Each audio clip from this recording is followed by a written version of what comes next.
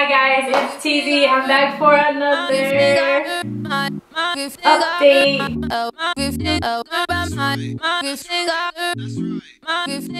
So I decided to incorporate a vaginal steam bath into this cycle. So I figured that I would show you all an easy way to do it at home. All right, so um, just doing research as far as like you can go to a salon to do a, vaginal steam bath or vaginal V-steam, vajayjay, like Simply Tanika would say, hoo-ha, pocketbook, kitty cat, whatever you want to call it, you can steam it. So you can go to a salon um, and when I was looking, price range per session can be from $75 to $125. So I think that is a little bit expensive to go to a salon to get your hoo-ha or the JJ steamed. Um, so I figured that I would just do it at home. You guys know that I have a potion lady and my potion lady be giving me potions and stuff.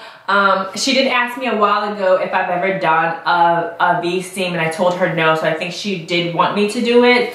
Um, she actually mentioned me doing a, a coffee, I don't know what it's called, but basically you insert coffee into your vajayjay. Um, when she told me that, I decided to table that. I don't know how I feel right now about putting coffee up there, but I did do research about it and there are women that um, do it. I forgot the exact name, but I'll link an article um, that I found about it and some women live by it, but for me at this point, I told her, let's table the, the coffee for now. Um, so I could have gotten the V-Steam from my potion lady, but um, I live close to CNY. I live like 15 minutes from CNY and my potion lady is in New York City. So I only see her when I go to New York City. So I just figured it would be easier for me to pick it up from CNY. So total cost for me for this DIY project was $23. I'm actually sitting on a portable commode right now because this is where I did my V-Steam on. Um, this was free 99. I got it for free. Um, this is by Drive um, and it's portable. It's really easy and lightweight.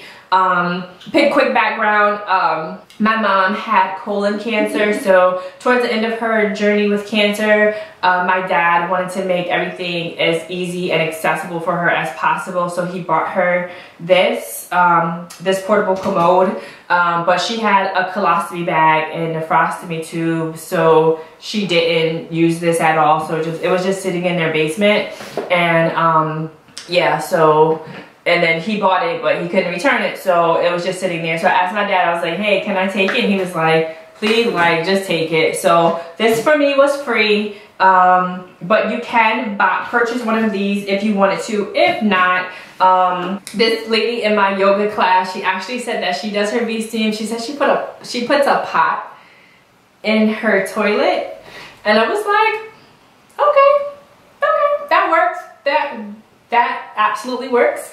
Uh, for me, I was like, this is gonna work for me. It comes with this, um, this uh, thing that you put under the bottom here. So this you can get from like Rite Aid, CVS, Walgreens. They do sell these in the incontinence section. However, if you don't want to invest in something like this, um, they they do have something similar to this that you put in your toilet so you don't have to put a pot in your toilet. you can put something similar to this that they sell so you could just, I think it's a little bit wider so it fits, um, it fits on the toilet so you could use something similar to this. So yeah, don't, don't put a pot in your toilet. That's just me. So, like I said, instead of doing paying 75 to $125 per session, I'm doing this for $23 and all right, so I got it from CNY and it came in a bag like this. Um, so this is, uh, you could do three baths, steam baths with this one um, packet. Okay, and they also, again, I, um, I went and I got it and then it comes with the instruction as well. So I'll put a link to this article from their site. I'll put this down below. Um, I'm not sure if all of the CNY locations like where I live, they had a, they have it's called the Fertile Ground Cafe. So you can pick up tea, Um, you can pick up the steam baths. Um, you know, Dr. K, he lives by the keto diet, so you could buy um, keto snacks. Um, you can buy essential oils. It's kind of like a one-stop shop. You know, I talk about all the time. I'll go there for yoga. I go there for my acupuncture and my massages. So I got this from CNY. Like I said, I could have got it. I could have gotten it from my potion lady, but I just got it from CNY.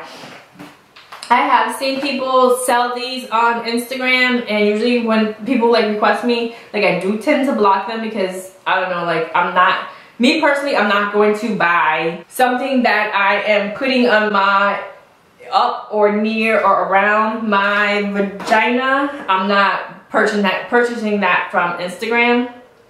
So I'm not sure if there's an herbal shop that you can go to um, or if CNY or if um, maybe if you research it, if they can send it to you, if you can purchase it online, or if you can just go to an herbal shop and buy the ingredients to do it yourself. So I'm not sure. But, um, so before, before I get started, so I haven't said my disclaimer in a while, so I'm just gonna put this out here. I am not an LPN, an RN, a nurse practitioner, a physician assistant, a physician. I'm not even a CNA.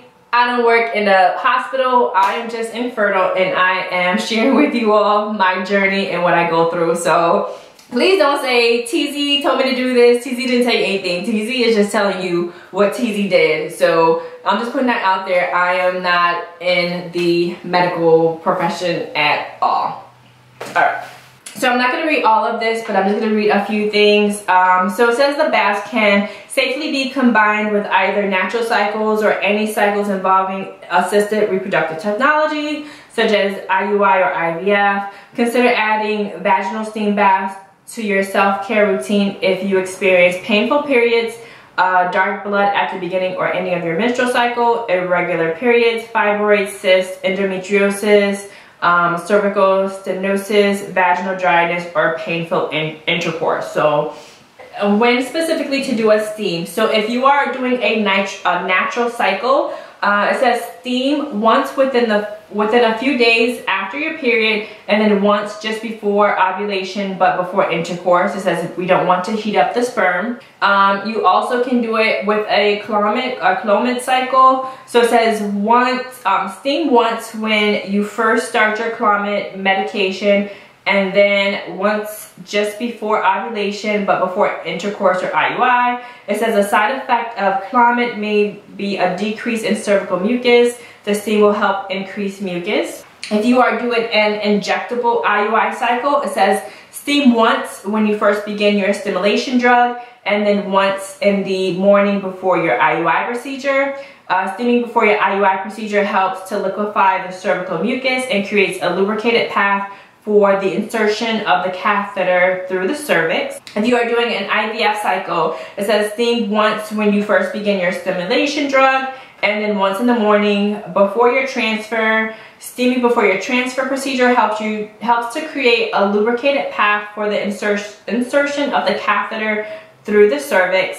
And then if you are doing a donor egg cycle, it says steam once uh, while your donor is stimulating and then once in the morning before your transfer. So that's when they recommend to do a vaginal bath steam. So like I said, I'll um, link this information um, down below. So as far as instruction, uh, so it says obtain vaginal steam bath herbs from CNY Healing Arts. Uh, the contents of one bag of herbs is enough for two to three vaginal steam baths. So like I said, it comes in this little bag here and then it just says vaginal steam bath. Let's see.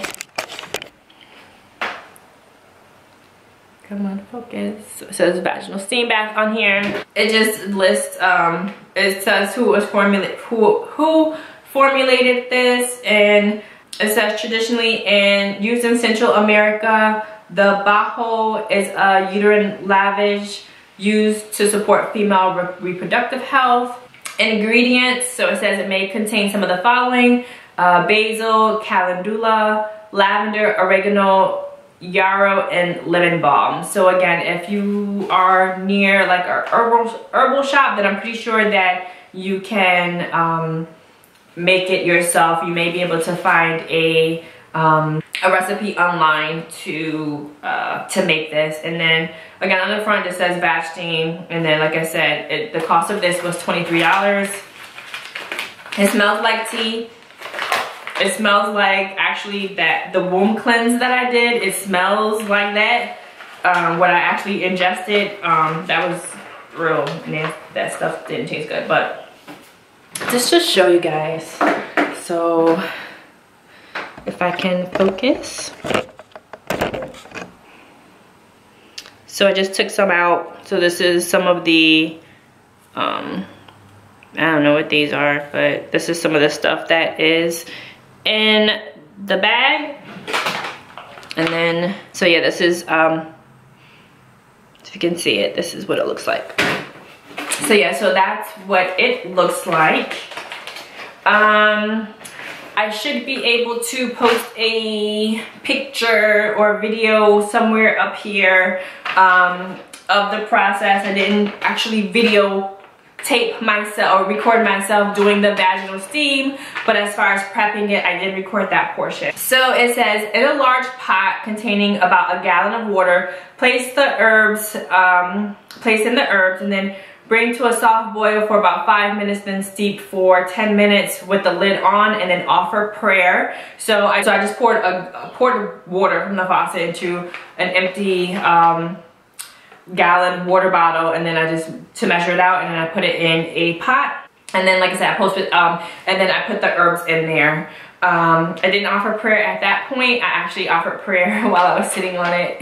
I offered prayer there because I kind of, I forgot. So um, soft boil and then it, say, it says, place the pot of water or herbs under a slated chair, lawn chair, or even your toilet. Sit over the pot uh, without underwear. Be careful to make sure the water or herbs have cooled enough so that you don't burn yourself. So um, in the video, like I said, I took the pot and then um, I did let it steep for more than 10 minutes so I was setting up. I actually put this in the basement. Um, I could have put it in this room. This is an empty room, so if you hear echo, it's an empty room in our house. This is going to be, I'm claiming it, this is gonna be my nursery and it's already pink, so I'm claiming it, I'm putting it out there that this is gonna be my nursery. Not hopefully, not, uh, it, this is gonna be my nursery, but I did end up, I ended up doing it in the basement. Um, so like I said, I ended up transferring the, um, the, um, the contents of the steam bath. I put it into this. So like I said, this came with um, this uh, commode. And then, um, so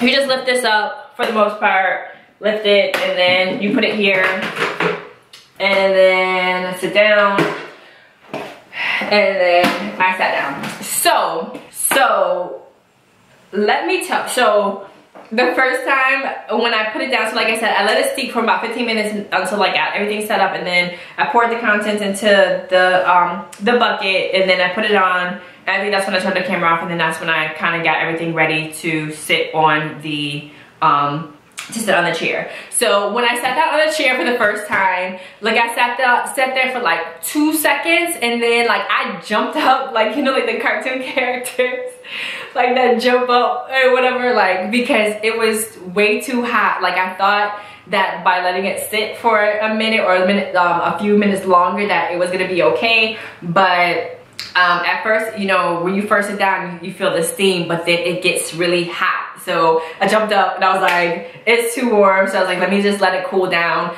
So then I did let it cool down and then um, I tried it again and then it felt good. But then when I put the blanket around me, that's when everything starts marinating and it starts heating up again. So I was like, jumped up again. I was like, this is way too hot. So I was like, well, let me just put my finger in there to feel it to see how, um, how hot it was. So just a rule of thumb, if you put your finger in the pot and it's too warm, like you have to take your, your hand or your finger out of the pot, it's too hot for your vajayjay. So just let it cool down. Um, And then like I said, because once you put put the blanket over you, it's gonna steam everything back, it's gonna steam everything up down there. So it's gonna get warmer. So just let it wait, just let it, I would say maybe after you let it steep for 10 minutes, then maybe like another 15 minutes, I would say with the lid off to let it, um, to let it cool down. So that I had, this is actually an electric blanket that was just in my, uh, that was in the closet over there.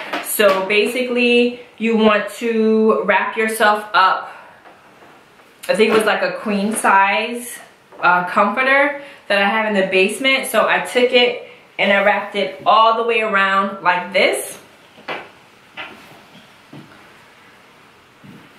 So that way there was no air seeping out. And then again, once this is on there, that's when everything down there gets marinating and then it warms up a lot. So, um, so like I said, definitely make sure that you let it cool down before you put your JJ on the seat. But I just let it sit here. So like I said, um, you can do it on a toilet I, you can do it on a toilet. Like I said, I would recommend to get, I don't know if it's called like a, um, a bedside pan or a toilet commode. I'm not sure what they call it, but like I said, if you don't want to invest in something like this, you can get that little, um, like the bucket. You can purchase that from um, from a, a, pharmacy to put that into the toilet. And then like I said, you can just cover yourself with a blanket. But I like this because I can cover it all the way around the seat so no air is seeping out. Um, I did it in the basement. I was fine in the basement, um, but I decided to bring this chair up here. Um, I'm, I'm home alone right now, and I don't know, I just felt creeped out sitting in the basement recording by myself, but when I did the V-Steam, I was, uh, my, like everybody was home, so I don't know, but I just didn't want to record downstairs in the basement for some reason. Um, so yeah, I just sat downstairs. So you want to um, let the vaginal steam occur for 20 minutes and then uh, while I was doing it I actually had my iPad I was watching Netflix um, what is it called? I'm a killer? I think it's called I'm a killer which is a random combination I'm watching I'm a killer on Netflix and then doing a vaginal scene. but it worked for me. It made the time go by. I love that I'm fascinated with stuff like that with those shows so for me it just made the time go by faster. Um, so yeah and then actually like once it once it started to cool down a little bit more it felt more comfortable. Because at first like i said there were a few times i had to like kind of i'm just doing this just to kind of because i would feel it in certain spots and like on, on my thighs it started getting really warm. So uh, once it started cooling down that's when i was just i'm just sitting on here and I'm ha i had my ipad watching my netflix and it was quite comfortable. Um, I definitely enjoyed it afterwards. I, it doesn't say whether to take a shower or not, but I actually took a shower after because just sitting on here, you do get sweaty um, and stuff. So after, just to cool down, and I just, I did take a shower afterwards. But then overall experience, like I felt really clean down there. It felt all warm and cozy down there. I don't know, I liked it. I'm definitely gonna keep doing it throughout my cycle um, per the instructions. So this is something that I did incorporate. So like I said, total for this for me was $23. If you don't have um, the commode, the, the um, portable commode, then like I said, you can use your toilet, but I do recommend not to put a pot in your toilet, to put um, uh, to buy a bucket or something of that nature that fits in your toilet and then um, like I said, uh, you can try herbal shop. They may have them if you are close to or check to see if, um, you know, wherever you are going for your fertility treatment, see if they have these as well. Um, or see if you can make them. They may have some uh, recipes online. Um, so yeah, overall experience, it was it was really um, it was really soothing and like I felt really relaxed. My body felt relaxed. I felt um, down there, like I said, it just felt all more like warm and cozy and stuff. So I liked it. Um, so that's it. I do know a few women reached out to me about um, tea for unblocking fallopian tubes. I did reach out to my potion lady. I really need to stop calling her a potion lady. She is not a, a potion lady. Um, but she is my potion lady. But I did reach out to her. I haven't heard back from her yet. But once I do, um, like I said, I'm not sure she has anything or she could recommend anything. But when she does, I will let you all know. Um, and that's it. So if you have any more questions about the vaginal steam bath, the JJ steam, hoo-ha steam, pocketbook steam, whatever you kitty cat steam, whatever you want to call it. Um, feel, feel free to ask me any questions. Um, but yeah, that's it. So that is all that I have for you guys for today. So I will see you guys in my next journal entry and I'm wishing you all the best in your journeys and um, yeah, so that's it. I'll talk to you guys later. Bye guys.